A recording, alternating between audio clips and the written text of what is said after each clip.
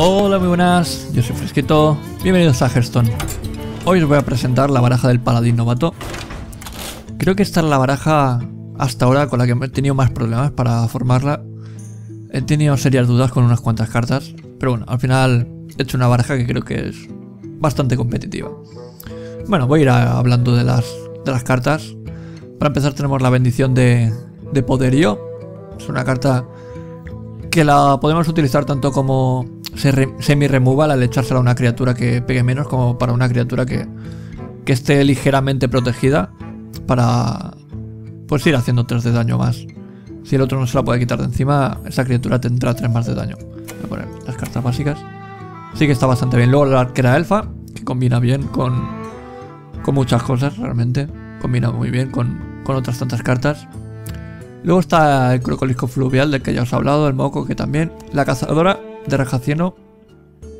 Aquí me he decidido por este drop de 3 porque habían otras opciones, realmente habían otras opciones, por ejemplo está la humildad, pero la humildad creo que, que en general como la mano de protección a lo mejor son mejores para otras para otro tipo de baraja, no una baraja que sea así equilibrada dentro de lo que cabe. Luego también está la luz sagrada, que es otra carta que también se puede meter perfectamente. Incluso al final me he optado por el, por el ogro en vez del guardián de reyes, de los reyes, que también es una opción así un poco arriesgada y polémica, se podría decir, ya que además, como se puede ver, tengo bastantes cartas de 4. Pero bueno, aún así yo creo que la cazadora va bien, en general, combina bien con, con el señor de lobo gélido. Y todas las demás cartas que veis aquí son las que ya conocéis. Luego tenemos la de campeón campeón de Vera Plata, que es una de las mejores armas del juego. Es un 4-2, una arma 4-2, que, que, además recupera dos puntos de salud, así que el daño hecho a criaturas duele menos y si le, pegas directamente al, al héroe es como curarse dos. Esta carta la utilizaremos como removal sobre todo, no tanto para pegarle al héroe, que no sé que sea para, para el golpe final, pero no la guardaremos para utilizarla como removal. Además es que es muy bueno, es un removal muy bueno. Luego está la bendición de reyes, que es una carta que también está bastante bien. La utilizaremos también como removal o, para potenciar alguna de las criaturas que tengamos en mesa. Normalmente querremos potenciarla cuando ya haya pasado un turno en mesa, normalmente. Pero en algún, en algún caso podemos incluso sacar, por ejemplo, un minion, utilizar el poder y echarle la bendición de reyes a ver si no nos lo matan, si hemos perdido el control de mesa, también se puede hacer. Luego está la consagración, que es un área muy buena. Hace dos puntos de daño a todos los enemigos, héroe incluido. Así que si al otro le quedan dos de vida y tiene varios proteger, pues con esto se puede matar. El martillo de cólera, que es una carta que también está muy bien. Hace tres puntos de daño y robas una carta. Luego aparte metió el Senjin, el Yeti, el Señor Lobo Gélido y el Gropuño de Roca. Digo que he tenido bastantes problemas con esta baraja porque, como veis, la curva es un poco extraña. Tiene muchas cartas de 4.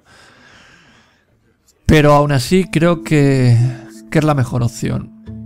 A lo mejor si veis que tenéis muchos problemas podéis quitar el logro y poner el guardián. Se puede hacer, incluso si queremos ir a muy, late game, quitar a lo mejor la cazadora y, meter el guardián.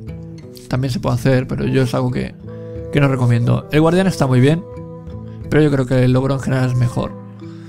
Es cierto que recupera 6 puntos de vida y eso a lo mejor en, en barajas de iniciado o de novato cuenta como también la luz sagrada, que también pueden salvarte en un momento dado. Así que si veis que con esta baraja no os sirve, podéis cambiar la bendición, la arquera, la cazadora, las que no suelen estar en todas las barajas y, poneros alguna curación. Tampoco hace falta que os pongáis dos, podéis poneros una solo. Por ejemplo, poneros un, una cazadora y, y una luz sagrada o, o un ogro y un, y un guardián de los reyes, o los dos guardianes. Eso depende como lo veáis. Y nada, vamos a probarla. Vamos a ver qué tal sale esto. Hace días que no juego, así que ya veremos cómo está la cosa. Hace días que no juego porque sabes que últimamente hay bastantes problemas con el tema del login. Que se ve que esta gente de Blizzard no tiene dinero y no puede contratar gente suficiente para que, para que solucionen los problemas de login. Ahora están contratando gente, están buscando gente.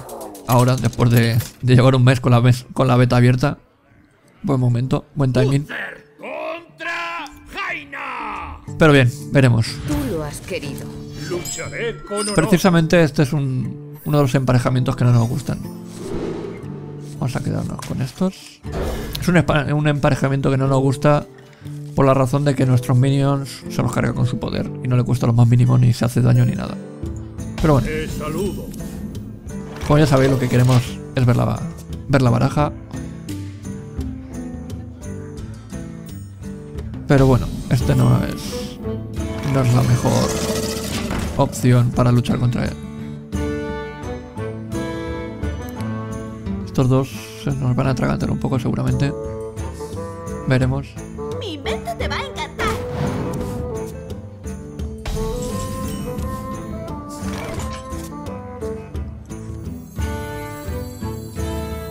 Purificaremos la fuente del sol. Voy a matar a este. Porque si le pego la cabeza luego con el poder y con esta me, me mata al 3 al 3-2. Y no saca este porque ahora tengo un 3-3 y un 3-2. Y bueno. Puedo hacer eso. Si no le da este. Mala suerte. Bueno, mala suerte tampoco, ¿no? Podría haber salido de otra manera. La luz me protege.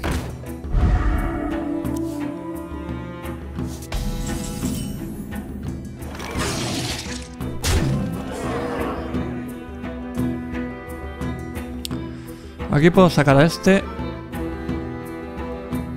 No puedo sacar este y un minion. Lo cual puede. Puede matármelo con este. Pero el minion quedaría vivo. O puede matarme a este otro. Creo que voy a sacar este. Para que no le pueda pegar a este otro. Pero este. Este me va a hacer la puñeta a mí.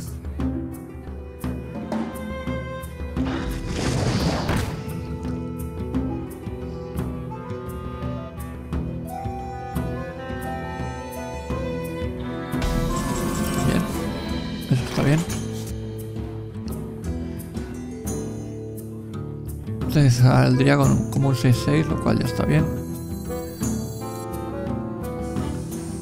O puedo sacar más criaturas.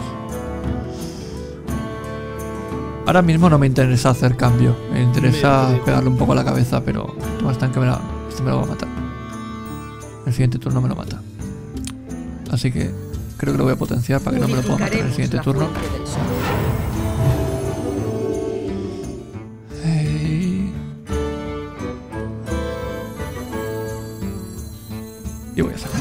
Y voy a ir a la cabeza.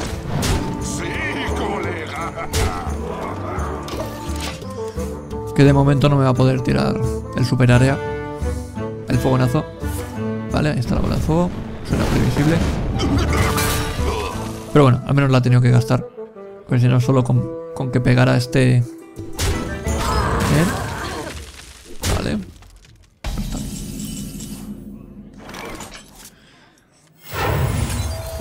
Haremos, esto.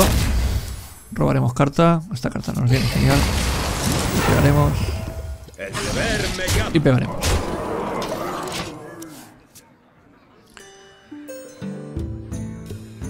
Seguramente mate aquí con este y con el poder. Efectivamente. Vaya, no me los mates a todos, chicos. Tenemos sed venganza. Bueno. No puedo.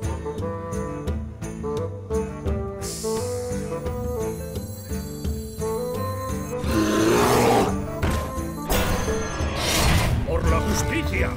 Voy a matar a este. Voy a matar a este.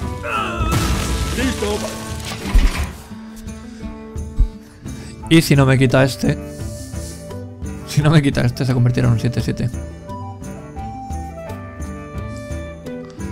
Y ahora 7 de daño. La madre tierra está. Eso está bien.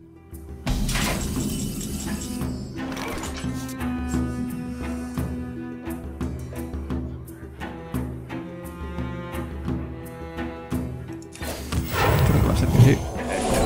No sé cuándo voy a poder sacar estos. Pero bueno. Por Voy a pegar aquí. Podría haber ido a la cabeza. Seguramente habría sido incluso mejor idea ir a la cabeza. Pero el caso está en que si no tiene un... Una bola de fuego o, una, o un pollo, aún podría hacer algo. Pero sí, debería haber ido a la cabeza porque se habría quedado con dos. Somos de la madre tierra nos observan.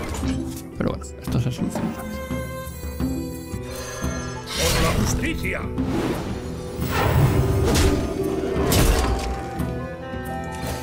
Voy a sacar esto. Estos dos se van a morir de asco aquí. Pero como no me saque, no tenga armadura o algo, va a morir. Mis ojos están abiertos. Aún así muere. Él no lo sabe, pero aún así muere. Bueno, tengo un proteger. Vale, está muerto.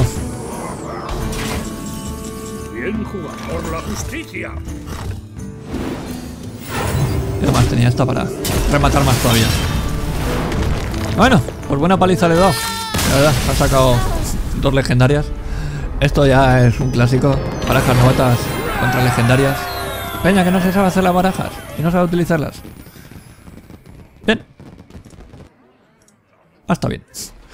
En fin, bueno, ya veis que es una baraja bastante equilibrada. Se me han pudrido ahí un poco los, los señores lobos gélidos, como habéis podido ver. Pero a veces pasa, hay ve- veces que no hay que ser demasiado goloso, hay que bajar otras cosas que se necesitan más, que te pueden ser más útiles en ese momento que no querer bajar el grande. A lo mejor contra otra profesión sí que sí que lo habría querido bajar, contra un druida, contra un propio contra el propio paladín.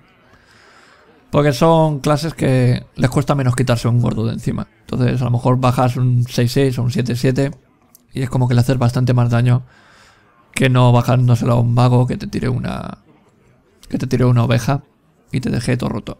Así que como siempre hay que saber jugar las cartas en el momento y tener suerte que te toquen mancos contra los que jugar como me tocan a mí. Al menos cuando utilizo la- las barajas de novato. En fin, espero que os haya gustado el vídeo. Gracias por verlo y hasta la próxima.